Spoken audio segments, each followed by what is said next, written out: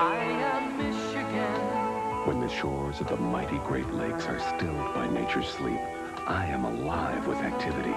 Playful breezes glide along miles of coastlines that wait to be explored. I am a vast frozen playground filled with anticipation and adventure. My land quickens the senses and warms the soul. Yes, Michigan, the beach.